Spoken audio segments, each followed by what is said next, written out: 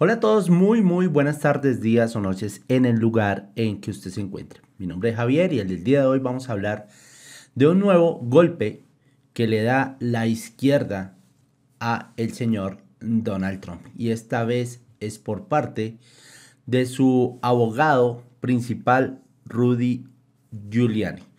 Rudy Giuliani, como ustedes saben, eh, ya perdió su licencia para ejercer el derecho en Nueva York Ahora Washington hace exactamente lo mismo, diciendo que no tiene el, derecho de hablar de ningún tipo de política en su calidad de abogado.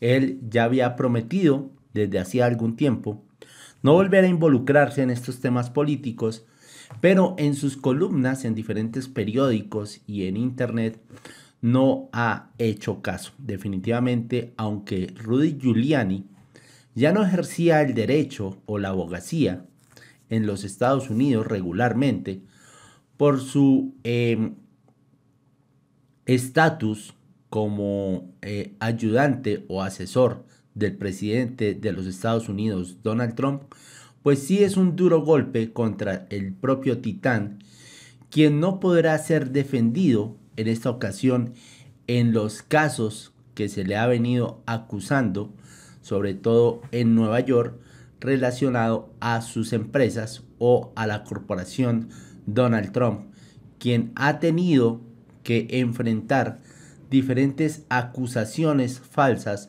por parte de la izquierda y del socialismo de los Estados Unidos, quienes buscan con esto parar su aspiración política para el 2024. Esta es la información que tengo para ustedes el día de hoy. Muchas gracias por estar acá.